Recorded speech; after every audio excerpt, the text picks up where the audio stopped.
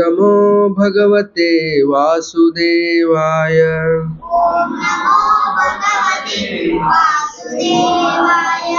नारायणं नमस्कृत्य नरं चैव नरोत्तमं देवीं सरस्वतीं व्यासं ततो जयमुदीरयेत्। नष्टप्रायेष्वभद्रेषु नित्यं भागवतसेवया। भगवतीरोत्तमश्लोके भक्तिर्भवति नैष्टके।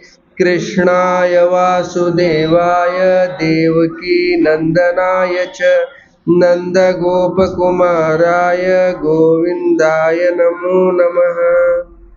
हरे कृष्ण।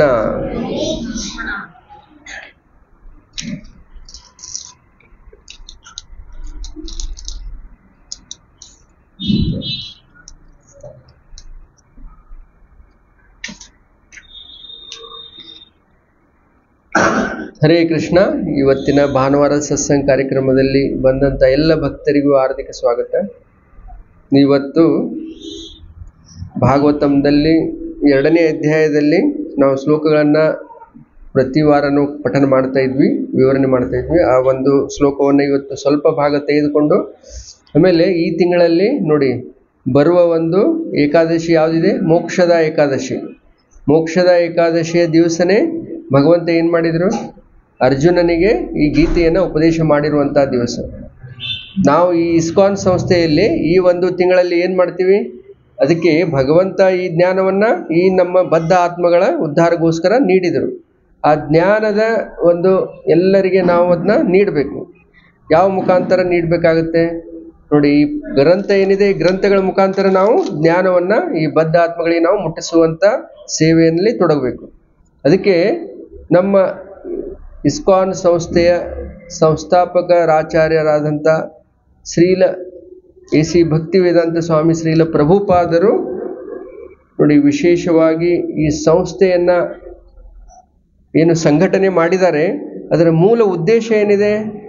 ಮೂಲ ಉದ್ದೇಶ ಈ ನಮ್ಮ ಈ ಬೌದ್ಧಿ ಬದ್ ಭೌತಿಕ ಜಗತ್ತಿನಲ್ಲಿರೋ ಎಲ್ಲ ನಮ್ಮಂಥ ಬದ್ಧ ಆತ್ಮಗಳಿಗೆ ಈ ಜ್ಞಾನವನ್ನು ನೀಡುವುದಕ್ಕೆ ಈ ಸಂಸ್ಥೆಯನ್ನು ಸ್ಥಾಪನೆ ಆಗಿರೋದು ಮೂಲ ಉದ್ದೇಶ ಜ್ಞಾನದ ಪ್ರಚಾರ ಇದೆ.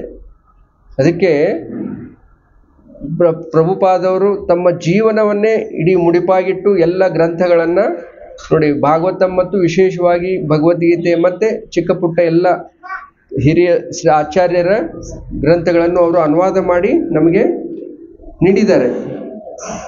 ಆ ಗ್ರಂಥಗಳನ್ನು ಈಗ ನಾವು ಎಲ್ಲ ಮನುಷ್ಯ ಜೀವಿಗಳಿಗೆ ಅದನ್ನೆಲ್ಲ ನಾವು ಜ್ಞಾನವನ್ನು ಪ್ರಚಾರ ಮಾಡಬೇಕಾಗಿದೆ.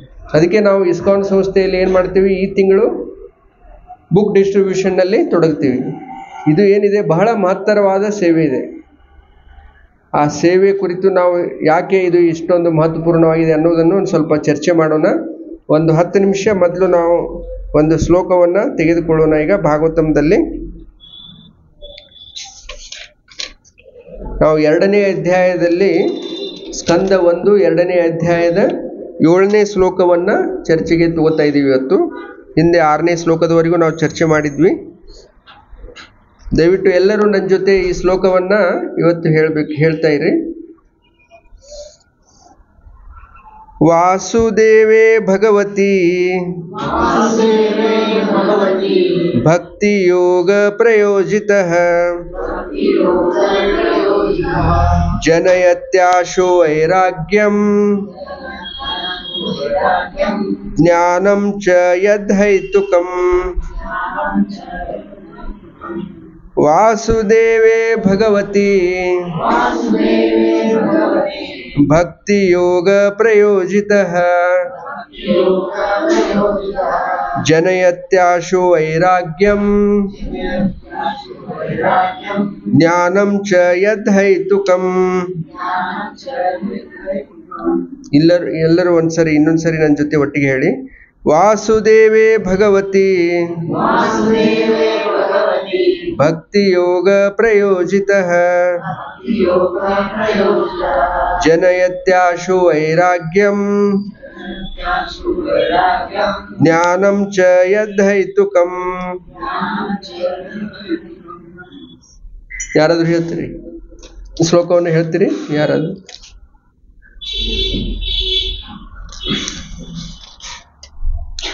ಆಯ್ತು. ನಾನೀಗ ಶಬ್ದಗಳ ಅರ್ಥವನ್ನ ಓದ್ತಾ ಹೋಗ್ತೀನಿ. ಎಲ್ಲರೂ ಒಟ್ಟಿಗೆ ಹೇಳೋಣ. ವಾಸುದೇವೆ ಶ್ರೀಕೃಷ್ಣನಿಗೆ ಭಗವತಿ ದೇವೋತ್ತಮ ಪುರುಷನಿಗೆ ಭಕ್ತಿಯೋಗ, ಭಕ್ತಿ ಸೇವೆಯ ಸಂಪರ್ಕ ಪ್ರಯೋಜಿತ, ಅನ್ವಯಿಸಿದ ಜನಯತಿ ಉಂಟು ಮಾಡುತ್ತದೆ. ಆಶು ಶೀಘ್ರವಾಗಿ ವೈರಾಗ್ಯಂ, ಅನಾಸಕ್ತಿಯನ್ನು, ಜ್ಞಾನಂ, ಅರಿವನ್ನು ಚ ಮತ್ತು ಯತ್, ಯಾವುದೋ ಅದು ಅಹೇತುಕಂ, ಕಾರಣರಹಿತವಾದ ಅನುವಾದ ಮತ್ತು ಭಾವಾರ್ಥ ಎ ಸಿ ಭಕ್ತಿ ವೇದಾಂತ ಸ್ವಾಮಿ ಶ್ರೀಲ ಪ್ರಭುಪಾದರಿಂದ ಅನುವಾದ. ಪರಮಪುರುಷನಾದ ಶ್ರೀಕೃಷ್ಣನಿಗೆ ಭಕ್ತಿ ಸೇವೆ ಸಲ್ಲಿಸುವುದರಿಂದ ಜೀವಿಗಳು ಶೀಘ್ರವಾಗಿ ಕಾರಣರಹಿತ ಜ್ಞಾನವನ್ನು ಈ ಸಂಸಾರದಲ್ಲಿ ವಿರಕ್ತಿಯನ್ನು ಪಡೆಯುವರು. ಭಾವಾರ್ಥ,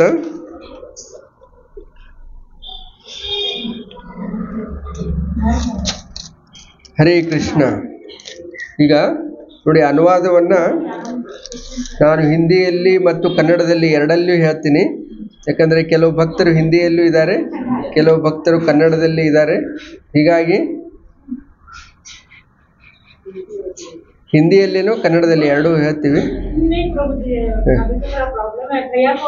ಹಾಂ ಹಾಂ, okay okay. Okay okay okay, Hare Krishna. ಹ್ಞೂ ಈಗ ನೋಡಿ ಈ ಶ್ಲೋಕದಲ್ಲಿ ಭಗವಂತ ಏನು ಹೇಳ್ತಾ ಇದ್ದಾರೆ? ವಾಸುದೇವೇ ಭಗವತಿ ಭಕ್ತಿ ಯೋಗ ಪ್ರಯೋಜಿತ. ನೋಡಿ, ವಾಸುದೇವ ಭಗವಂತನ ಪ್ರತಿ ಭಕ್ತಿ ಯೋಗ ನಾವು ಭಕ್ತಿ ಸೇವೆಯಲ್ಲಿ ಯಾವಾಗ? ಭಗವಂತ, ದೇವೋತ್ತಮ ಪರಮ ಪುರುಷನಾದ ಶ್ರೀಕೃಷ್ಣನ ಭಕ್ತಿ ಸೇವೆಯಲ್ಲಿ ಯಾವಾಗ ತೊಡಗ್ತೀವಿ? ಅದರಿಂದ ಏನು ಪ್ರಯೋಜನ ಆಗುತ್ತೆ? ಪ್ರಯೋಜಿತ. ಏನು? ಜನಯತಿ. ಏನಾಗುತ್ತೆ? ಜನನ ಆಗುತ್ತೆ ಹುಟ್ಟುತ್ತೆ. ಏನು? ಆಶು ಮತ್ತೆ ತುರಂತವಾಗಿ ಶೀಘ್ರವಾಗಿ ಅದು ಉತ್ಪತ್ತಿ ಆಗುತ್ತೆ ಏನು? ಜ್ಞಾನಂ ಚ ವೈರಾಗ್ಯಂ ಜ್ಞಾನಂ ಚ ಯದ್ಧೈತುಕಂ ನೋಡಿ ಯಾವಾಗ ದೇವೋತ್ತಮ ಪರಮ ಪುರುಷನಾದ ಶ್ರೀಕೃಷ್ಣನ ಭಕ್ತಿ ಸೇವೆಯಲ್ಲಿ ನಾವು ಯಾವಾಗ ತೊಡಗುತ್ತೀವಿ ಅದರ ಪ್ರಯೋಜನ ಏನಾಗುತ್ತೆ? ಶೀಘ್ರವಾಗಿ ಏನಾಗುತ್ತೆ? ಜ್ಞಾನ ಮತ್ತು ವೈರಾಗ್ಯ ಎರಡೂ ಏನಾಗುತ್ತೆ? ಅಲ್ಲಿ ಬರುತ್ತೆ. ಆ ಜೀವಿಯಲ್ಲಿ ಜ್ಞಾನ ಮತ್ತು ವೈರಾಗ್ಯ ಎರಡು ಉತ್ಪನ್ನ ಆಗುತ್ತೆ. ನೋಡಿ, ಭಕ್ತಿಯ ಎರಡು ಮಕ್ಕಳು ಇವು. ಜ್ಞಾನ ಮತ್ತು ವೈರಾಗ್ಯ ಏನಿದೆ? ಭಕ್ತಿಯ ಮಕ್ಕಳು. ಯಾವಾಗ ಭಕ್ತಿ ತಾಯಿ ಬರ್ತಾಳೆ, ತಾಯಿ ಜೊತೆ ಮಕ್ಕಳು ಬಂದ್ಬಿಡ್ತಾರೆ. ಅದಕ್ಕೆ ಇಲ್ಲಿ ಹೇಳ್ತಾ ಇರೋದು. ಆಮೇಲೆ ಭಕ್ತಿ ಅನ್ನೋ ಒಂದು ಶಬ್ದ ಏನಿದೆ? ಈ ಶಬ್ದವನ್ನ ಭಗವಂತ ಶ್ರೀಕೃಷ್ಣ ಮತ್ತು ವಿಷ್ಣುವಿನ ವಿಷ್ಣುವಿನ ವಿಸ್ತಾರಗಳಿಗೆ, ಭಗವಂತನ ವಿಸ್ತಾರಗಳಿಗೆ ಮಾತ್ರ ಈ ಶಬ್ದವನ್ನು ಪ್ರಯೋಗ ಮಾಡಲಾಗ್ತದೆ. ಭಕ್ತಿ ಅನ್ನೋ ಶಬ್ದವನ್ನು. ಉಳಿದ ದೇವತೆಗಳ, ದೇವತೆಗಳಿಗೆ ನಾವು ಭಕ್ತಿಯ ಶಬ್ದವನ್ನು ಪ್ರಯೋಗ ಮಾಡಲ್ಲ. ದೇವತೆಗಳದ್ದು ನಾವು ಯಾವ ಥರ ಸೇವೆ ಮಾಡ್ತೀವಿ, ಅವರ ಉಪಾಸನೆ ಮಾಡ್ತೀವಿ. ಅವರಿಗೆ ಪೂಜೆಯನ್ನು ಸಲ್ಲಿಸ್ತೀವಿ, ಅವರಿಗೆ ಗೌರವವನ್ನು ಕೊಡ್ತೀವಿ. ಅವ್ರದ್ದು ಏನಾಗುತ್ತೆ ಉಪಾಸನೆ ನಡೆಯುತ್ತೆ. ನೋಡಿ ದುರ್ಗಾದೇವಿ ಕಾಳಿಕಾದೇವಿ, ಶಿವ, ಭಗವಂತ, ಶಿವನಿಗೆ ನಾವೇನು ಮಾಡ್ತೀವಿ? ಅವರ ಉಪಾಸನೆ ಮಾಡ್ತೀವಿ. ಅವರಿಗೆ ಪೂಜೆ ಸಲ್ಲಿಸ್ತೀವಿ, ಗೌರವ ಕೊಡ್ತೀವಿ. ಆದರೆ ಭಕ್ತಿ ಅನ್ನೋದೇನಿದೆ? ಅದು ದೇವೋತ್ತಮ ಪರಮಪುರುಷ ಕೃಷ್ಣ ಮತ್ತು ವಿಷ್ಣುವಿನ ಅವತಾರಗಳಿಗೆ ಮಾತ್ರ ಭಕ್ತಿಯ ಪ್ರಯೋಗ ಮಾಡಲಾಗ್ತದೆ. ಭಗವಂತನ ಪ್ರತಿ ಮಾತ್ರ ಭಕ್ತಿ, ಅದು ಸೇವೆ ನಡೆಯುತ್ತೆ.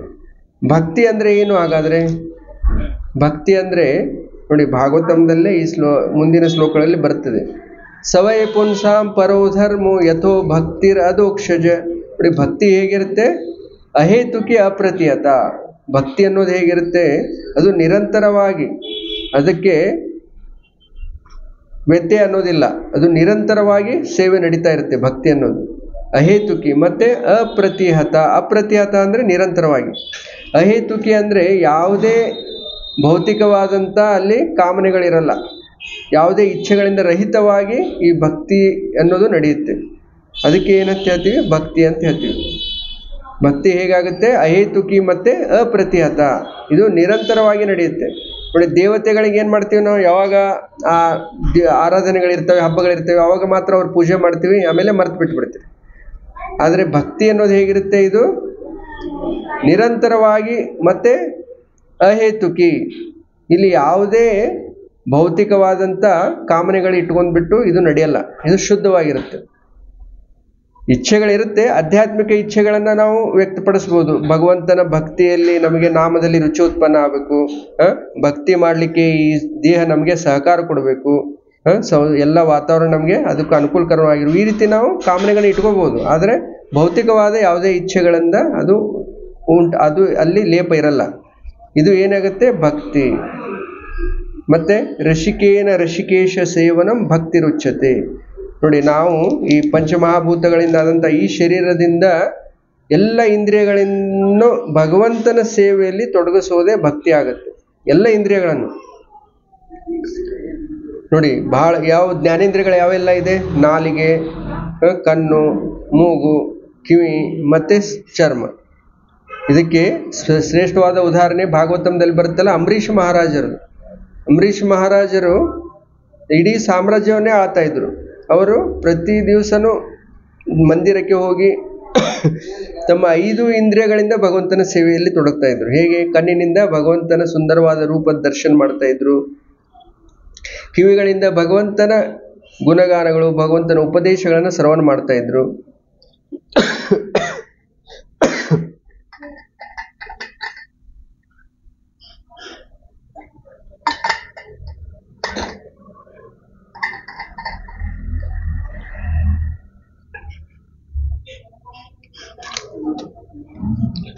ಹರೇ ಕೃಷ್ಣ. ನೋಡಿ, ಈಗ ಎಲ್ಲ ಇಂದ್ರಿಯಗಳನ್ನ ಭಗವಂತನ ಸೇವೆಯಲ್ಲಿ ತೊಡಗಿಸೋದು ಭಕ್ತಿ ಆಗುತ್ತೆ ಈ ಪಂಚಮಹಾಭೂತಗಳಿಂದ ಅಂತ ಈ ಶರೀರವನ್ನ ನಾವು ಭಗವಂತನ ಸೇವೆಯಲ್ಲಿ ತೊಡಗಿಸೋದು. ನೋಡಿ, ಈ ಶ್ರವಣ ಮಾಡ್ತೀವಿ. ಕಿವಿಗಳಿಂದ ಏನು ಮಾಡೋದು? ಭಗವಂತನ ಲೀಲೆಗಳನ್ನು, ಭಗವಂತನ ಉಪದೇಶವನ್ನು ಶ್ರವಣ ಮಾಡೋದು. ನಾಲಿಗೆಯಿಂದ ಭಗವಂತನ ಪವಿತ್ರವಾದಂಥ ನಾಮವನ್ನ ತಗೊಳ್ಳೋದು. ಏನಂತ ತಗೋತೀವಿ? ಹರೇ ಕೃಷ್ಣ ಹರೇ ಕೃಷ್ಣ ಕೃಷ್ಣ ಕೃಷ್ಣ, ಹರೇ ಹರಿ. ಹರೇ ರಾಮ ಹರೇ ರಾಮ ರಾಮ ರಾಮ, ಹರೇ. ಈ ರೀತಿ ಮತ್ತೆ ಭಗವಂತನಿಗೆ ಅರ್ಪಣೆ ಮಾಡಿದಂಥ ಪ್ರಸಾದವನ್ನು ಸ್ವೀಕಾರ ಮಾಡುವುದು ಭಗವಂತನಿಗೆ ಅರ್ಪಣೆ ಮಾಡಿದಂಥ ಹೂವುಗಳಿಂದ ಆ ಸುವಾಸನೆಯನ್ನು ಸ್ವೀಕಾರ ಮಾಡೋದು, ಮೂಗಿನಿಂದ. ಈ ರೀತಿ ಎಲ್ಲ ಇಂದ್ರಿಯಗಳನ್ನು ಭಗವಂತನ ಸೇವೆಯಲ್ಲಿ ತೊಡಗಿಸುವುದು ಏನಾಗುತ್ತೆ? ಇದು ಭಕ್ತಿ ಆಗುತ್ತೆ. ಮತ್ತೆ ಶ್ರವಣದಲ್ಲಿ ನೋಡಿ, ಎಲ್ಲಕ್ಕಿಂತ ಮುಖ್ಯ ಅಂಗ ಭಕ್ತಿಯಲ್ಲಿ ಯಾವುದು? ಶ್ರವಣ ಮಾಡೋದು ಮತ್ತೆ ಜಿವ್ವ ಏನಿದೆ ಅದು? ಜಿವ್ವಾದಿಂದನೇ ಭಕ್ತಿ ಸ್ಟಾರ್ಟ್ ಆಗುತ್ತೆ. ಅಥ ಶ್ರೀಕೃಷ್ಣ ನಾಮಾದಿ ನ ಭವೇದ್ ಗ್ರಾಹ್ಯಂ ಇಂದ್ರಿಯಂ ಸೇವೋನ್ಮುಖಿ ಜಿವ್ವಾದವು ಸ್ವಯಮೇವ ಸ್ಫುರತ್ಯತೆ. ನೋಡಿ, ಭಕ್ತಿ ಹೇಗೆ ಪ್ರಾರಂಭ ಆಗುತ್ತೆ ನಮ್ದು? ನಾಲಿಗೆಯಿಂದ. ಜೀವಾದಿಂದನೇ ಪ್ರಾರಂಭ ಆಗುತ್ತೆ. ಜೀವಾದಿಂದ ಎರಡು ಸೇವೆ ಆಗುತ್ತೆ. ಒಂದು ಪ್ರಸಾದ ಸ್ವೀಕಾರ ಮಾಡೋದು, ಇನ್ನೊಂದು ಭಗವಂತನ ನಾಮವನ್ನು ತಗೊಳ್ಳೋದು. ಇಲ್ಲಿಂದನೇ ಈ ಭಕ್ತಿ ಪ್ರಾರಂಭ ಆಗುತ್ತೆ. ಅದಕ್ಕೆ ಭಕ್ತಿ ಅನ್ನೋದು ದೇವೋತ್ತಮ ಪರಮ ಪುರುಷ ಕೃಷ್ಣ ಮತ್ತು ವಿಷ್ಣುವಿನ ಅವತಾರಗಳಿಗೆ ಮಾತ್ರ ಅದನ್ನು ಅನ್ವಯ ಆಗುತ್ತೆ. ಈ ರೀತಿ ಈ ಭಕ್ತಿ ಯೋಗ ಏನಿದೆ ಅದು? ಭಗವಂತನ ಭಕ್ತಿ ಯೋಗದಲ್ಲಿ ಯಾವಾಗ ನಾವು ತೊಡಗ್ತೀವೋ, ಏನಾಗುತ್ತೆ? ತುರಂತವಾಗಿ ಜ್ಞಾನ ಮತ್ತು ವೈರಾಗ್ಯ ಎರಡೂ ಉತ್ಪನ್ನ ಆಗುತ್ತೆ ಅಂತ ಹೇಳ್ತಾ ಇದ್ದಾರೆ. ನಮ್ಮಲ್ಲಿ ಏನಾಗುತ್ತೆ? ಜ್ಞಾನನೂ ಬರುತ್ತೆ ಮತ್ತೆ ವೈರಾಗ್ಯನೂ ಆಗುತ್ತೆ. ಜ್ಞಾನ ಅಂದರೆ ಯಾವ ಜ್ಞಾನ ಬರುತ್ತೆ? ಭಗವ, ಆಧ್ಯಾತ್ಮಿಕ ಜ್ಞಾನ. ಈ ಭೌತಿಕ ಜಗತ್ತಿನ ಈ ಜ್ಞಾನ ಏನಿದೆ ಇದು? ಇದು ಇದು ಡೆಡ್ ಇದೆ. ಇದು ಮೃತ ಇದೆ. ಇದು ಇದು ಏನಿದೆ? ಈ ಭೌತಿಕ ಜಗತ್ತಿಗೆ ಅಷ್ಟೇ ಸಂಬಂಧಪಟ್ಟಂಥದ್ದು ಇದು ಇದು ಶಾಶ್ವತವಾಗಿರುವಂಥದ್ದಲ್ಲ ತಾತ್ಕಾಲಿಕವಾಗಿರೋದು. ಶಾಶ್ವತವಾಗಿರುವಂಥದ್ದು ಮತ್ತೆ ಆತ್ಮದ ಉನ್ನತಿಗೆ ಪ್ರಯೋಜನವಾಗುವಂಥದ್ದು ಯಾವುದು? ಆಧ್ಯಾತ್ಮಿಕ ಜ್ಞಾನ. ಆ ಜ್ಞಾನದಲ್ಲಿ ಭಗವಂತನ ಈ ಸೇವೆಯಲ್ಲಿ ತೊಡಗೋದ್ರಿಂದ ಆ ಜ್ಞಾನ ನಮಗೆ ಬಂದ್ಬಿಡುತ್ತೆ. ಏನೆಲ್ಲ ಇದೆ? ನಾವು ಆತ್ಮ ಸಾಕ್ಷಾತ್ಕಾರವನ್ನು ಹೊಂತೀವಿ ನಾವು ಶರೀರ ಅಲ್ಲ, ನಾವು ಆತ್ಮ ಇದ್ದೀವಿ. ನಮ್ಮ ನಿಜವಾದ ಸ್ವರೂಪ ಏನಿದೆ? ಭಗವಂತನ ನಿತ್ಯ ದಾಸರಿದ್ದೀವಿ ಜೀವೇರ ಸ್ವರೂಪ ಹೇ ಕೃಷ್ಣೇರ ನಿತ್ಯ ದಾಸ್ ನಾವು ಈ ಯಜಮಾನರಲ್ಲ ಈ ಭೌತಿಕ ಜಗತ್ತಿನಲ್ಲಿ ನಾವೆಲ್ಲ ಏನಿದ್ದೀವಿ? ಸಣ್ಣ ಸಣ್ಣ ಭಗವಂತನ ಅಂಶ ಇದೀವಿ ಭಗವಂತನ ಮಕ್ಕಳಿದ್ದೀವಿ. ಭಗವಂತನಿಂದ ವಿಮುಖರಾಗಿ ಈ ಭೌತಿಕ ಜಗತ್ತಿಗೆ ಬಂದಿದ್ದೀವಿ. ಇಡೀ ಸೃಷ್ಟಿಯೆಲ್ಲ ಭಗವಂತಂದೇ ಇದೆ. ಭಗವಂತನೇ ಈ ಸೃಷ್ಟಿಗೆ ಒಡೆಯಿದ್ದಾನೆ ಈ ಎಲ್ಲ ಜ್ಞಾನ ನಮಗೆ ಬಂದ್ಬಿಡುತ್ತೆ. ಯಾವಾಗ ಭಗವಂತನ ಭಕ್ತಿ ಸೇವೆಯಲ್ಲಿ ತೊಡಗಿದೆ. ಮತ್ತೆ ವೈರಾಗ್ಯ. ವೈರಾಗ್ಯ ಅಂದ್ರೆ ಏನು? ಹಾ. ಅಂದರೆ ಅನಾಸಕ್ತರಾಗೋದು ಭೌತಿಕ ವಿಷಯಗಳಲ್ಲಿ ಅನಾಸಕ್ತರಾಗಬೇಕು. ಎಲ್ಲಿವರೆಗೂ ನೋಡಿ ಭೌ, ನಾವು ಭೌತಿಕ ಜಗತ್ತಿಗೆ ಬಂದಿದ್ದೀವಿ ಈಗ. ಇಲ್ಲಿ ಆಸಕ್ತರಾಗಿ ಬಿಟ್ಟಿದ್ದೀವಿ ನಾವೀಗ. ಭೌತಿಕ ಜಗತ್ತಿನ ವಿಷಯಗಳಲ್ಲಿ ಆಸಕ್ತರಾಗಿ ಬಿಟ್ಟಿದ್ದೀವಿ ಎಲ್ಲಿವರೆಗೂ ಭೌತಿಕ ಜಗತ್ತಿನ ವಿಷಯಗಳಲ್ಲಿ ಆಸಕ್ತರಾಗಿರ್ತೀವಿ, ಅಲ್ಲಿವರೆಗೂ ಇಲ್ಲೇ ಇರ್ಬೇಕು ನಾವು. ಇಲ್ಲಿಂದ ಹೊರಟೋಗೋ ಚಾನ್ಸೇ ಇಲ್ಲ. ಮನಸ್ಸನ್ನು ನಾವು ಏನು ಮಾಡಿಬಿಟ್ಟಿವಿ? ಭೌತಿಕ ವಿಷಯಗಳಲ್ಲಿ ಮನನ ಮಾಡ್ತಾ ಇದ್ದೀವಿ. ಆದರೆ ಆಸಕ್ತರಾಗಿಬಿಟ್ಟಿವಿ. ಆ ಆಸಕ್ತತೆ ಕೃಷ್ಣನಲ್ಲಿ ಪರಿವರ್ತನೆ ಆಗ್ಬೇಕಷ್ಟೆ. ಪರಿವರ್ತನೆ ಕೃಷ್ಣನಲ್ಲೇ ಆಗ್ಬೇಕು. ಭಗವಂತ ಹೇಳ್ತಾರ ಏಳನೇ ಅಧ್ಯಾಯ ಮೊದಲನೇ ಶ್ಲೋಕದ ಮಯ್ಯಾಸಕ್ತ ಮನ ಪಾರ್ಥ. ನೋಡಿ, ನನ್ನಲ್ಲಿ ನೀನೀಗ ಆಸಕ್ತತೆಯನ್ನು ತೊಡಗಿಸು. ಭಗವಂತನಲ್ಲಿ ನಾವು ಆಸಕ್ತತೆಯನ್ನು ತೊಡಗಿಸ್ಬೇಕು. ಏನಾಗ್ಬಿಟ್ಟಿದೆ? ಭೌತಿಕ ವಿಷಯಗಳಲ್ಲಿ ನಾವು ಆಸಕ್ತಿಯನ್ನು ತೊಡಗಿಸ್ಬಿಟ್ಟಿವಿ. ದುಡ್ಡು, ಭೌತಿಕ ವಿಷಯಗಳನ್ನು ದುಡ್ಡನ್ನು ಜಾಸ್ತಿ ನಾವು ಗಳಿಸ್ಬೇಕು ದೊಡ್ಡ ದೊಡ್ಡ ಬಂಗ್ಲೆ ಕಟ್ಟಬೇಕು ಹೊಸ ಹೊಸ ಈಗ ಹೊಸ ಮಾಡೆಲ್ ಕಾರ್ ಬಂತಂದರೆ ಆ ಕಾರ್ ತೊಗೊಂಡೇ ಬಿಡಬೇಕು. ಏನೇ ನೀವು ಇನ್ವಿಟೇಷನ್ ಇನ್ವೆ ಎಲ್ಲ ಹೊಸ ಹೊಸ ಭೋಗದ ವಸ್ತುಗಳು ಬರ್ತಾ ಇದೆ, ಅವನ್ನೆಲ್ಲ ನಾನು ಪಡಿಬೇಕು. ಅವತರ ಬಗ್ಗೆ ಎಲ್ಲ ರಿಸರ್ಚ್ ನಡೀತಾ ಇರುತ್ತೆ. ಮನಸ್ಸು ಅಲ್ಲಿ ಕೇಂದ್ರೀಕೃತ ಆಗ್ತಾ ಇದೆ ನಮ್ದು. ಭೋಗದ ವಸ್ತುಗಳ ಇಲ್ಲಿ ತೊಡಗಿಸ್ತಾ ಇದ್ದೀವಿ ಈ ಆಸಕ್ತತೆ ಅನ್ನೋದು ಯಾವಾಗ ಹೊರ ಹೊರಟು ಹೋಗ್ಬೇಕದು?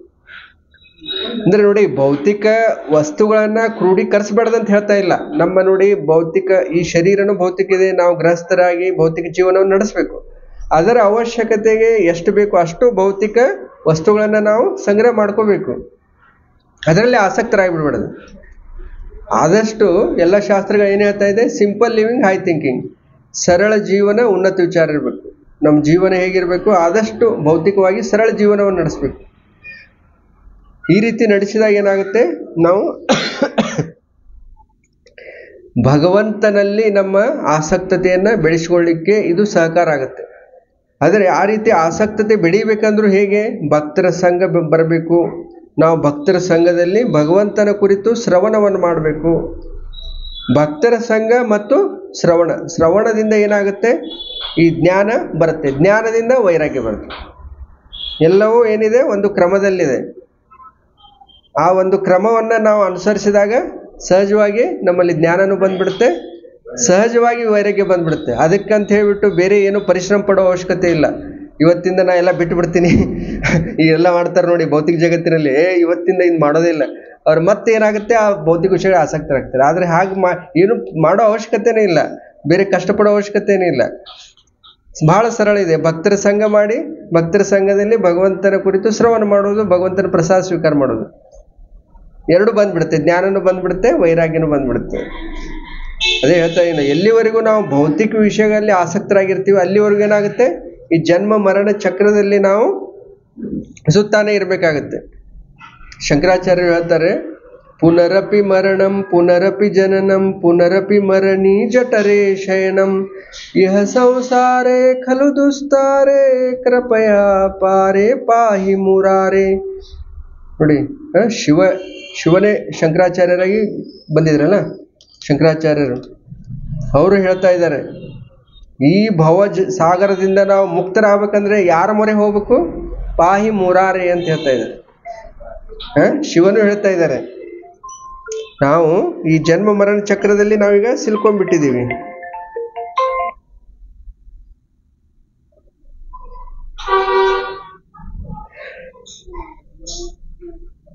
ಹರೇ ಕೃಷ್ಣ, ದಯವಿಟ್ಟು ಕ್ಷಮಿಸ್ಬೇಕು. ಯಾರು ತಮ್ಮ ತಮ್ಮ ಮೊಬೈಲ್ಗಳನ್ನ ದಯವಿಟ್ಟು ಸೈಲೆಂಟ್ ಮೋಡಲ್ಲೇ ಇಟ್ಬಿಡ್ರಿ.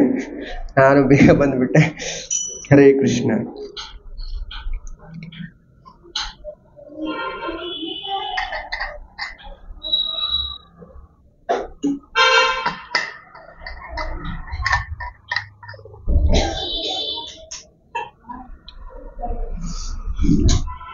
ಅದಕ್ಕೆ ಈ ಭವಸಾಗರದಲ್ಲಿ, ಜನ್ಮ ಮರಣ ಚಕ್ರದಲ್ಲಿ ನಾವು ಸಿಲುಕಾಕೊಂಡ್ಬಿಟ್ಟಿದ್ದೀವಿ ನೋಡಿ ಒಂದು ಶರೀರ ಬಿಡ್ತೀವಿ, ಮತ್ತೆ ಒಂದು ತಾಯಿ ಗರ್ಭವನ್ನು ಪ್ರವೇಶ ಮಾಡ್ತೀವಿ, ಅಲ್ಲಿ ಒಂಬತ್ತು ತಿಂಗಳಿದ್ದು ಬಿಟ್ಟು ಮತ್ತೆ ಹೊಸ ಶರೀರದಲ್ಲಿ, ಹೊಸ ಸೌ, ಹೊಸ ಪರಿವಾರ, ಹೊಸ ಸ್ಥಳ, ಈ ರೀತಿ ಏನಾಗುತ್ತೆ? ಈ ಜೀವನ, ಈ ಜನ್ಮ ಮರಣ ಚಕ್ರದಲ್ಲಿ ಸುತ್ತಾನೆ ಇರ್ತೀವಿ.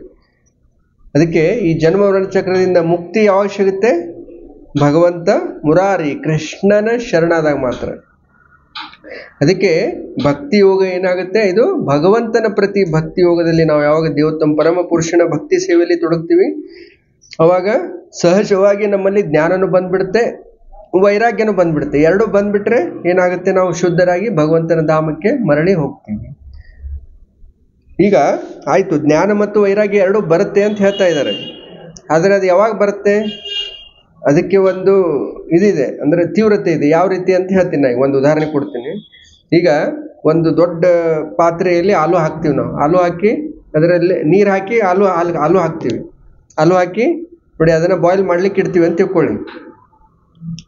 ನೀವು ಬರ್ಷನ್ ಏನು ಫ್ಲೇಮ್ ಇರುತ್ತಲ್ಲ, ಅದು ತುಂಬ ಜಾಸ್ತಿ ಇಟ್ಟಾಗ ಬೇಗ ಬೇಗ ಅದು ಬಾಯ್ಲ್ ಆಗುತ್ತೆ.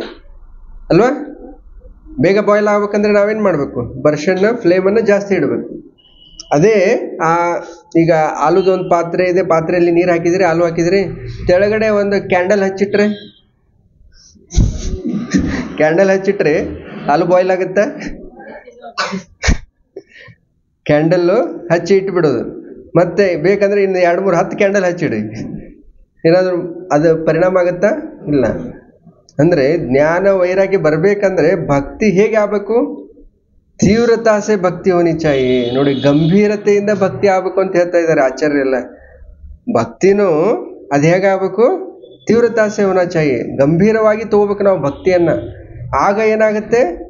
ಜ್ಞಾನ ವೈರಾಗ್ಯ ಉತ್ಪನ್ನ ಆಗುತ್ತೆ. ಇಲ್ಲ ಅಂದರೆ ಆಗಲ್ಲ. ನಿ ತೀವ್ರತಾಸೆ ಅಂದರೆ ಏನಂದ್ರೆ ನಿತ್ಯಂ ಭಾಗವತ ಸೇವೆಯ. ಹೇಳ್ತಾ ಇದ್ರಲ್ಲ ನಷ್ಟ ಪ್ರಾಯೇಶ್ವ ಭದ್ರೇಶು ನಿತ್ಯಂ ಭಾಗವತ ಸೇವಯ ಭಗವತಿರುತ್ತಮ ಶ್ಲೋಕಿ ಭಕ್ತಿರ್ಭವತಿ ನೈಷ್ಟಕಿ. ಈ ರೀತಿ ಭಗವಂತನ ಭಕ್ತಿ ಅನ್ನೋದು ನಾವು ವಾರಕ್ಕೊಂದ್ಸರಿ ಬಂದು ಭಕ್ತರ ಸಂಘ ಮಾಡ್ತೀವಿ. ಹ? ಕೀರ್ತನೆ ಮಾಡಿದೀವಿ, ಪ್ರಸಾದ ತಗೊಂಡು ಹೋದ್ವಿ ಅಲ್ಲ. ಪ್ರತಿ ದಿವಸನೂ ಭಗವಂತನ ಭಕ್ತಿ ಸೇವೆ ಆಗಬೇಕು. ಅದಕ್ಕೆ ನೋಡಿ, ಎಷ್ಟೊಂದು ಪ್ರಭುಪಾದವರು ಎಲ್ಲ ನಮಗೆ ಅನುಕೂಲವನ್ನು ಮಾಡಿಕೊಟ್ಟಿದ್ದಾರೆ. ಪ್ರತಿ ದಿವಸ ನಾವು ಏನು ಮಾಡ್ತೀವಿ, ಭಗವಂತ ನಾಮವನ್ನು ನೀವು ಜಪ ಮಾಡ್ರಿ. ಪ್ರತಿ ದಿವಸನೂ ಬ ಪ್ರಭುಪಾದವರು ಬರೆದಂಥ ನಾವು ಗ್ರಂಥಗಳನ್ನು ಪ್ರತಿ ದಿವಸನೂ ಒಂದು ಗಂಟೆ ಅದಕ್ಕೆ ಸಮಯ ಕೊಡಬೇಕು. ಅದಾಯಿತು. ಮತ್ತೆ ನಾವು ಈ ನಮ್ಮ ಸತ್ಸಂಗ ಕೇಂದ್ರದಿಂದ ಎಷ್ಟೊಂದು ಗೃಹಸ್ಥರಿಗೋಸ್ಕರ ನಾವು ಏನು ಮಾಡ್ತಾ ಇದ್ದೀವಿ ಈಗ? ಸತ್ಸಂಗ ಕೇಂದ್ರದಿಂದ ಪ್ರತಿ ದಿವಸ ರಾತ್ರಿ ಒಂಬತ್ತು ಹದಿನೈದರಿಂದ ಒಂಬತ್ತು ನಲ್ವತ್ತೈದು ಅರ್ಧ ಗಂಟೆ ಭಕ್ತರ ಸಂಘವನ್ನು ನಾವು ತೊಡಗಿಸ್ಕೊಳ್ಳಿಕ್ಕೇ ಭಗವದ್ಗೀತೆ ಒಂದು ಶ್ಲೋಕದ ಚರ್ಚೆಯನ್ನು ನಮ್ಮ ಸಂಸ್ಥೆ, ನಮ್ಮ ಒಂದು ಇಸ್ಕಾನ್ ಸಂಸ್ಥೆಯಿಂದ ಮಾಡ್ತಾ ಇದ್ದೀವಿ. ಇದರ ಪ್ರಯೋಜನವನ್ನು ಎಲ್ಲರೂ ಪಡ್ಕೋಬೇಕು. ಇಲ್ಲಿರುವಂಥ ಯಾರು ಗೃಹಸ್ಥರು ಇನ್ನೂ ನೀವು ಸ್ಪೋರ್ಟ್ ಗ್ರೂಪಲ್ಲಿ ಜಾಯ್ನ್ ಆಗಿಲ್ಲ, ದಯವಿಟ್ಟು ನಾವು ವಿನಂತಿ ಮಾಡ್ಕೋತೀವಿ, ನೀವು ಪ್ರತಿ ದಿವಸನೂ ಅದರಲ್ಲಿ ಜಾಯ್ನ್ ಆಗಿ. ಯಾಕಂದರೆ ಈಗ ಹೇಳ್ತಾ ಇದ್ದಾರಲ್ಲ, ಭಕ್ತಿ ಅನ್ನೋ ತೀವ್ರತಾ ಸೇ ಹೋನಾ ಚಾಯಿ. ಅದು ಗಂಭೀರವಾಗಿ ಆಗಬೇಕು. ಇಲ್ಲ ಅಂದರೆ ನಾವು ಹೇಳಿದ್ವಲ್ಲ ಈಗ ಕ್ಯಾಂಡಲ್ ಹಚ್ಚಿಟ್ಟಾಗೆ. ನೀವು ನೀರು ಹಾಕಿದಿರಿ, ಹಾಲು ಹಾಕಿದಿರಿ, ತೆಳಗಡೆ ಕ್ಯಾಂಡಲ್ ಹಚ್ಚಿಟ್ಟಿದ್ದೀರಿ ಈ ರೀತಿ ಮಾಡ್ತಾ ಇದ್ದರೆ ಅಲ್ಲಿ ಜ್ಞಾನ ವೈರಾಗ್ಯನೂ ಅಂದರೆ ಬಾಯ್ಲ್ ಆಗಲ್ಲ, ಹಾಲು ಬಾಯ್ಲ್ ಆಗಲ್ಲ. ಆ ರೀತಿ ಇದೆ ಇದು. ಅದಕ್ಕೆ ಭಕ್ತಿ ಅನ್ನೋದು ಏನಾಗಬೇಕು? ಅದು ನಿತ್ಯಂ ಭಾಗವತಂ ಸೇವೆ ಆದಾಗ ಮಾತ್ರ ಜ್ಞಾನ ವೈರಾಗ್ಯ ಎರಡು ಬರುತ್ತೆ. ಅದಕ್ಕೆ ದಯವಿಟ್ಟು ಯಾರೆಲ್ಲ ಇನ್ನೂ ಸ್ಪೋರ್ಟ್ ಗ್ರೂಪಲ್ಲಿ ನೀವು ಜಾಯ್ನ್ ಆಗಿಲ್ಲ, ನೀವು ಆಮೇಲೆ ಬಂದುಬಿಟ್ಟು ನನ್ನನ್ನು ಭೇಟಿಯಾಗಿ, ದಯವಿಟ್ಟು ಪ್ರತಿ ದಿವಸ ಮಾಡ್ತಾ ಇರೋ ಉದ್ದೇಶ ಏನಿದೆ? ನೋಡಿ, ಇದೇ ಉದ್ದೇಶದಿಂದ ನಾವು ಮಾಡ್ತಾ ಇರೋದಿಲ್ಲ? ಈ ಸಂಸ್ಥೆಯಿಂದನೇ ನಾವು ಮಾಡ್ತಾ ಇದ್ದೀವಿ ಹಾಂ? ಪ್ರತಿ ದಿವಸನೂ ನಾವು ರಾತ್ರಿಗೆ, ನಮ್ಮಂಥ ಗೃಹಸ್ಥರಿಗೆ ಅರ್ಧ ಗಂಟೆ ನಾವು ಭಕ್ತರ ಸಂಘ ಮಾಡೋದು ಈ ರೀತಿ ಭಗವಂತ ನಾಮ ಜಪ ಮಾಡೋದು, ಭಗವದ್ಗೀತೆಯನ್ನು ಪಠನ ಮಾಡೋದು, ಈ ರೀತಿ ಮಾಡಿದಾಗ ಏನಾಗುತ್ತೆ? ನಿರಂತರವಾಗಿ ಇದು ನಡೆದಾಗ ಅಹೇತುಕಿ, ಅಪ್ರತಿಹತ, ಈ ರೀತಿ ನಡೆದಾಗ ಮಾತ್ರ ಜ್ಞಾನ ಮತ್ತು ವೈರಾಗ್ಯಲ್ಲಿ ಉತ್ಪನ್ನ ಆಗುತ್ತೆ. ಆ ಉದ್ದೇಶದಿಂದ ದಯವಿಟ್ಟು ಎಲ್ಲರೂ ಅದರಲ್ಲಿ ಜಾಯ್ನ್ ಆಗಿ. ಮತ್ತೆ ಈಗ ಜ್ಞಾನ ಮತ್ತು ವೈರಾಗ್ಯ ಎರಡೂ ಉತ್ಪನ್ನ ಆಗುತ್ತೆ ಅಂತ ಹೇಳ್ತಾ ಇದ್ದಾರೆ. ಅದಕ್ಕೆ ಮತ್ತೆ ಮತ್ತೆ ಈಗ ನೋಡಿ, ಜ್ಞಾನ ಮತ್ತು ವೈರಾಗ್ಯ ಬರ್ತಾ ಇದೆ ಅಂತ ಪ್ರಭುಪಾದವರು ಅಂದ್ರೆ ವಾಸುದೇವ ಭಗವತಿ ಭಕ್ತಿ ಯೋಗ ಪ್ರಯೋಜಿತ ಜನ ಯತ್ಯಾಶು ವೈರಾಗ್ಯಂ ಜ್ಞಾನಂಚ ಯದ್ಧೈತುಕಂ. ಈ ರೀತಿ ಭಗವಂತನ ಭಕ್ತಿ ಸೇವೆಯಲ್ಲಿ ನಾವು ತೊಡಗಿದಾಗ ಏನಾಗುತ್ತೆ? ಜ್ಞಾನನೂ ಬರುತ್ತೆ ಮತ್ತೆ ವೈರಾಗ್ಯನೂ ಬರುತ್ತೆ. ಹರೇ ಕೃಷ್ಣ ಹರೇ ಕೃಷ್ಣ ಕೃಷ್ಣ ಕೃಷ್ಣ, ಹರೇ ಹರೇ ರಾಮ ಹರೇ ರಾಮ. ಒಂದು ಹತ್ತು ನಿಮಿಷ ಈಗ ನಾವು ಭಗವಂತನ ಈ ಜ್ಞಾನದ ಪ್ರಚಾರದಕ್ಕೋಸ್ಕರ ಅದರ ವಿಶೇಷತೆ ಏನಿದೆ ಅದ್ರ ಕುರಿತು ಸ್ವಲ್ಪ ಚರ್ಚೆ ಮಾಡೋಣ. ಯಾಕಂದ್ರೆ ನಾವು ಹೇಳ್ತಾ ಇದೀವಲ್ಲ ಈ ಬುಕ್ ಡಿಸ್ಟ್ರಿಬ್ಯೂಷನ್ ಬುಕ್ ಮೆರಿ ಬುಕ್ ಡಿಸ್ಟ್ರಿಬ್ಯೂಷನ್ ಮೆರಿಥಾನ್ ನಾವು ಮಾಡ್ತಾ ಇದ್ದೀವಿ. ಈ ತಿಂಗಳಲ್ಲಿ ಮನೆ ಮನೆಗೆ ಹೋಗಿ ನಾವು ಭಗವದ್ಗೀತೆಯನ್ನ ಡಿಸ್ಟ್ರಿಬ್ಯೂಟ್ ಮಾಡ್ತಾ ಇದ್ದೀವಿ. ಯಾಕಂದ್ರೆ ಈ ಜ್ಞಾನದು ಆ, ನಮ್ಮಂಥ ಎಷ್ಟೋ ಬದ್ಧ ಆತ್ಮಗಳಿಗೆ ಈ ಜ್ಞಾನದ ಒಂದು ಅನುಕೂಲ ಆಗಬೇಕು. ಅದಕ್ಕೆ ಪ್ರಭುಪಾದವರು ಈ ತಿಂಗಳಲ್ಲಿ ಒಂದು ಆದೇಶವನ್ನು ನೀಡಿದ್ದಾರೆ. ನೋಡಿ ಪ್ರಭುಪಾದವರಿಗೆ ಅವರ ಗುರುಗಳು ಯಾರು? ಶ್ರೀಲ ಭಕ್ತಿ ಸಿದ್ಧಾಂತ ಸರಸ್ವತಿ ಠಾಕೂರ್ ಅವರು. ಭಕ್ತಿ ಸಿದ್ಧಾಂತ ಸರಸ್ವತಿ ಠಾಕೂರ್ ಅವರಿಗೆ ಮೊದಲನೇ ಭೇಟಿ ಆದಾಗನೇ ಪ್ರಭುಪಾದವರಿಗೆ ಅವ್ರಿಗೆ ಏನು ಆಜ್ಞೆ ಕೊಟ್ಟರವರು? ನೀವು ಈ ವೈದಿಕ ಜ್ಞಾನವನ್ನು ಇಡೀ ವಿಶ್ವದಲ್ಲೇ ಅದನ್ನು ನೀವು ಪ್ರಚಾರ ಮಾಡಬೇಕು. ಅವರಿಗೆ ಇಂಗ್ಲೀಷದ ಬಹಳ ಜ್ಞಾನ ಇತ್ತು. ಹೀಗಾಗಿ ನೀವು ಇಂಗ್ಲೀಷ್ನಲ್ಲಿ ಎಲ್ಲ ಅನುವಾದ ಮಾಡಿಬಿಟ್ಟು ಇಡೀ ವಿಶ್ವದಲ್ಲೇ ಈ ಜ್ಞಾನವನ್ನು ಪ್ರಚಾರ ಮಾಡಿ. ಅದಾದಮೇಲೆ ಮತ್ತೆ ಅವರಿಗೆ ಪ್ರತಿಯೊಂದು ಭೇಟಿಯಲ್ಲಿ ಪ್ರಭುಪಾದರಿಗೆ ಅವರು ಗುರುಗಳು ಆದೇಶ ಮಾಡ್ತಾ ಇದ್ರು. ಏನಂತ ಹೇಳಿ ನೀವು ಯಾವಾಗ ನಿಮ್ಮ ಹತ್ರ ಹಣ ಇರುತ್ತೆ, ಯಾವಾಗ ನೀವು ಏನು ಮಾಡಬೇಕು?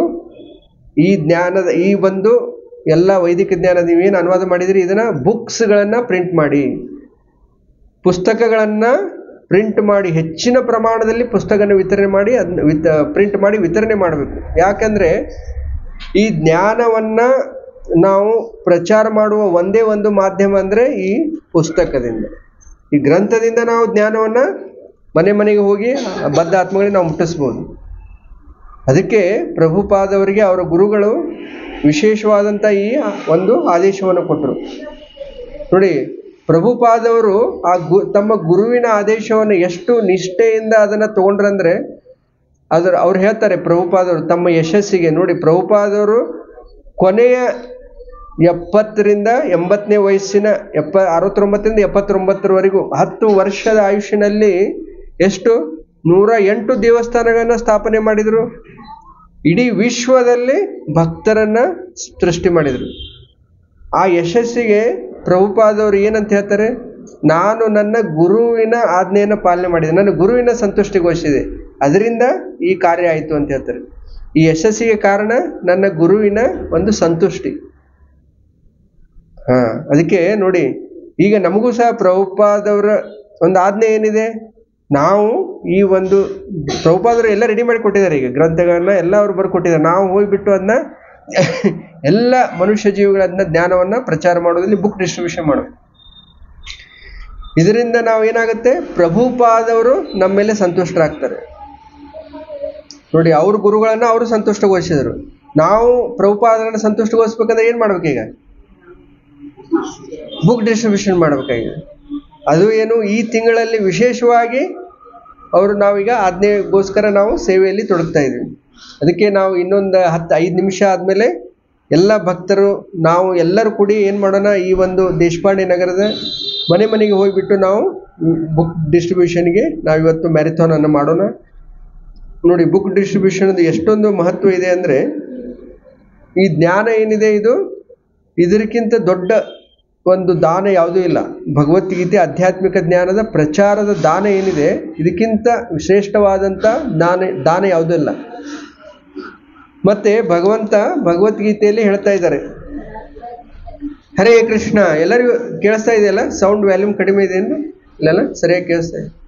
ನೋಡಿ, ಭಗವದ್ಗೀತೆಯಲ್ಲಿ ಹದಿನೆಂಟನೇ ಅಧ್ಯಾಯದಲ್ಲಿ ಭಗವಂತ ಹೇಳ್ತಾರೆ ಯಾರು ನನಗೆ ಅತ್ಯಂತ ಪ್ರಿಯರು ಅನ್ನೋದನ್ನ ಭಗವಂತ ಹೇಳ್ತಾ ಇದ್ದಾರೆ. ಸರಿಯಾಗಿ ಕೇಳಿಸ್ಕೊಳ್ಳಿ. ಅಂದ್ರೆ ನಾವು ಭಗವಂತನಿಗೆ ಅತ್ಯಂತ ಪ್ರಿಯರಾಗಬೇಕಂದ್ರೆ ಏನ್ ಮಾಡಬೇಕು? ನೋಡಿ ಭಗವಂತ ಹೇಳ್ತಾ ಇದ್ದಾರೆ ನನಗೆ ಅತ್ಯಂತ ಪ್ರಿಯರು ಯಾರಾಗ್ತಾರೆ? ನೋಡಿ ಆ ಶ್ಲೋಕವನ್ನು ಎಲ್ಲರೂ ನನ್ನ ಜೊತೆ ಹೇಳಿ. ನಚ ತಸ್ಮಾನ್ ಮನುಷ್ಯೇಶು. ಕಶ್ಚಿನ್ ಮೇ ಪ್ರಿಯಕೃತ್ತಮಃ. ಭವಿತಾ ನ ಚ ಮೇ ತಸ್ಮಾತ್ ಅನ್ಯ ಪ್ರಿಯತರೋ ಭೂಯಿ ನೋಡಿ ನಚ ತಸ್ಮಾನ್ ಮನುಷ್ಯೇಶು ಮನುಷ್ಯರಲ್ಲಿ ನನಗೆ ಅವ್ರಿಗಿಂತ ಪ್ರಿಯರು ಯಾರು ಇರಲ್ಲ. ನಚ ತಸ್ಮಾನ್ ಮನುಷ್ಯೇಶು ಕಶ್ಚಿನ್ ಮೇ ಪ್ರಿಯಕೃತ್ತಮ। ಭವಿತಾ ನ ಚ ಮೇ ತಸ್ಮಾನ್ ನೋಡಿ, ಹಿಂದೇನೂ, ಮುಂದೇನೂ ಇರಲ್ಲ, ಹಿಂದೇನೂ ಇರಲ್ಲ। ಆ ಒಬ್, ಯಾರು ನನಗೆ ಅತ್ಯಂತ ಪ್ರಿಯರಂದರೆ ಈ ಜ್ಞಾನವನ್ನು ಯಾರು ಪ್ರಚಾರ ಕಾರ್ಯದಲ್ಲಿ ತೊಡಗ್ತಾರೆ ಅವರಿಗಿಂತ ಪ್ರಿಯರು ನನಗೆ ಹಿಂದೆನೂ ಇಲ್ಲ, ಮುಂದೆನೂ ಇರೋದಿಲ್ಲ ಅಂತ ಹೇಳ್ತಾ ಇದ್ರು. ಅವ್ರಿಗಿಂತ ಪ್ರಿಯರು ನನಗೆ ಬೇರೆ ಯಾರೂ ಇಲ್ಲ ಅಂತ ಹೇಳ್ತಾ ಇದ್ರು. ಅದಕ್ಕೆ ಈ ಜ್ಞಾನದ ಪ್ರಚಾರ ಕಾರ್ಯದಲ್ಲಿ ಯಾರಿಲ್ಲ ನೋಡಿ, ನಾವು ಪ್ರಚಾರ ಕಾರ್ಯದಲ್ಲಿ ಅಂದರೆ ನಾವು ಬರೀ ಸಹಾಯ ಮಾಡ್ತಾ ಇದ್ದೀವಿ ಪ್ರಭುಪಾದವರಿಗೆ ಎಲ್ಲ ಗ್ರಂಥವನ್ನು ನಾನೀಗ ರೆಡಿ ಮಾಡಿ ಕೊಟ್ಟಿದ್ದಾರೆ ನಮಗೆ. ಅದರ ಒಂದು ನಾವು ಬ, ನಾವು ಮನುಷ್ಯ ಜೀವಿ ಹೋಗಿ ಅದನ್ನ ತಲುಪಿಸ್ಬೇಕಾಗಿದೆ ಅಷ್ಟೇ. ಯಾರೆಲ್ಲ ಈ ಒಂದು ಸೇವೆಯಲ್ಲಿ ತೊಡಗ್ತಾರೆ, ಅವರಿಗಿಂತ ಪ್ರಿಯರು ಯಾರು ಇಲ್ಲ ಅಂತ ಸಾಕ್ಷಾತ್ ಭಗವಂತನೇ ಭಗವದ್ಗೀತೆಯಲ್ಲಿ ಹೇಳ್ತಾ ಇದ್ದಾರೆ. ಅವರಿಗಿಂತ ಪ್ರಿಯರು ಯಾರು ಇಲ್ವೇ ಇಲ್ಲ ನಮ್ಮ ಭೂಮಿ ಮೇಲೆ ಅಂತ ಹೇಳ್ತಾರೆ. ನಚ ತಸ್ಮಾನ್ ಮನುಷ್ಯೇಶು, ಕಶ್ಚಿನ್ ಮೇ ಪ್ರಿಯಕೃತ್ತಮ, ಪ್ರಿಯರು ಯಾರೂ ಇಲ್ಲ ನನಗಿಂತ ಭವಿತಾನ ಚ ಮೇ ತಸ್ಮಾತ್ ಮುಂದೇನೂ ಇರಲ್ಲ, ಹಿಂದೇನೂ ಇರಲ್ಲ, ಯಾವಾಗಲೂ ಅವರು ಶಾಶ್ವತವಾಗಿ ನನಗೆ ಪ್ರಿಯರಾಗಿರ್ತಾರೆ. ಯಾರು? ಈ ಜ್ಞಾನವನ್ನು ಪ್ರಚಾರ ಕಾರ್ಯದಲ್ಲಿ ಯಾರು ತೊಡಗ್ತಾರೆ? ನೋಡಿ, ಚೈತನ್ಯ ಮಹಾಪ್ರಭುಗಳ ಆದೇಶ ಇದೆಯಲ್ಲ? ಆರೇ ದೇಕೋ ತಾರೀಖ ಕೃಷ್ಣ ಉಪದೇಶ್. ಅಮರ ಆಜ್ಞಾಯ ಗುರು ಹೈ ತಾರೇ ದೇಶ್. ಚೈತನ್ಯ ಮಹಾಪ್ರಭು ನಮಗೆ ಆದೇಶ ಮಾಡ್ತಾ ಇದ್ದಾರೆ. ಯಾರು ನಿಮ್ಮ ಮುಂದೆ ಬರ್ತಾರೆ ಅವರಿಗೆ ನೀವು ಭಗವಂತನ ಕುರಿತು ಹೇಳ್ರಿ. ನೋಡಿ ಭಗ್ ಭಗವಂತನ ಈ ಜ್ಞಾನವನ್ನು ಹೇಳ್ಬೇಕಂದ್ರೆ ನೀವೇನು ಸಂಸ್ಕೃತವನ್ನು ಓದಬೇಕು, ಸಂಸ್ಕೃತ ಹೋಗ್ಬಿಟ್ಟು ವಿದ್ಯಾಪೀಠ ಕಲಿಬೇಕು, ಭಾಳ ಜ್ಞಾನ ತಗೋಬೇಕಂತ ಏನಿಲ್ಲ ನೀವು ಎಷ್ಟು ಕೇಳಿರ್ತೀರಿ ಅಷ್ಟನ್ನು ಹೇಳಿದರೆ ಸಾಕು. ನೀವು ಎಷ್ಟು ಶ್ರವಣ ಮಾಡಿರ್ತೀರಿ ಅಷ್ಟು ವಿಷಯಗಳನ್ನ ನಾವು ಹೇಳಿದರೆ ಸಾಕು. ಈ ರೀತಿ ಪ್ರತಿಯೊಬ್ಬರು ಗುರುಗಳಾಗಬೇಕು. ಈ ಜ್ಞಾನವನ್ನು ಪ್ರಚಾರ ಕಾರ್ಯದಲ್ಲಿ ತೊಡಗಬೇಕು. ಆ ನಿಟ್ಟಿನಲ್ಲಿ ಈ ಒಂದು ತಿಂಗಳಲ್ಲಿ ನಾವೀಗ ಬುಕ್ ಮ್ಯಾರಿಥಾನ್ನಲ್ಲಿ ಈ ಸೇವೆಯಲ್ಲಿ ಶ್ರದ್ಧೆಯಿಂದ ನಾವು ತೊಡಗಬೇಕು. ತಪಸ್ಸು, ಇದು ಒಂದು ತಪಸ್ಸು. ನೋಡಿ, ನಮಗೆ ಆ ಸಮಯವನ್ನು ನಾವು ಮೀಸಲಾಗಿಟ್ಟು ಪ್ರತಿ ದಿವಸನೂ ಆದಷ್ಟು ಅಥವಾ ವಾರದಲ್ಲಿ ನಾವು ಈ ರೀತಿ ಸಂಡೇ ಬಂದಾಗ ಎಲ್ಲೆಲ್ಲಿ ಜನರು ಜಾಸ್ತಿ ಕ್ರೋಢೀಕರಿಸುವಂಥ ಸ್ಥಳಗಳಿರುತ್ತೆ ದೇವಸ್ಥಾನಗಳು ದೇವಸ್ಥಾನಗಳಿರ್ಬೋದು ಅಥವಾ ಎಕ್ಸಿಬಿಷನ್ ಕೌಂಟರ್ಗಳಿರ್ಬೋದು ಅಲ್ಲಿ ಹೋಗಿ ನಾವು ಬುಕ್ಗಳನ್ನು ಡಿಸ್ಟ್ರಿಬ್ಯೂಷನ್ ಮಾಡ್ಬೋದು. ಈ ರೀತಿ ಈ ಜ್ಞಾನದ ಪ್ರಚಾರ ಕಾರ್ಯದಲ್ಲಿ ಯಾರೆಲ್ಲ ತೊಡಗುತ್ತಾರೆ ಅವರಿಗಿಂತ ಪ್ರಿಯರು ಭಗವಂತ ಹೇಳ್ತಾ ಇದ್ದಾರೆ, ನನಗೆ ಅವರಿಗಿಂತ ಪ್ರಿಯರು ಯಾರು ಇರುವುದಿಲ್ಲ ಅಂತ. ಅದಕ್ಕೆ ಇವತ್ತಿನ ದಿವಸ ಈಗ ಸಮಯ ಆಗಿಬಿಟ್ಟಿದೆ. ಈಗ ನಾವು ಹೊರಟು ಹೊರಟು ಎಲ್ಲ ಈ ಈ ಒಂದು ದೇಶಪಾಂಡೆ ನಗರದಲ್ಲಿ ಬುಕ್ ಡಿಸ್ಟ್ರಿಬ್ಯೂಷನ್ನಲ್ಲಿ ಆ ಸೇವೆಯಲ್ಲಿ ಪಾಲ್ಗೊಳ್ಳೋಣ. ಹರೇ ಕೃಷ್ಣ. ಹರೇ ಕೃಷ್ಣ. ಕೃಷ್ಣ ಕೃಷ್ಣ. ಹರೇ ಹರೇ. ಹರೇ ರಾಮ. ಹರೇ ರಾಮ. ರಾಮ ರಾಮ. ಹರೇ ಹರೇ.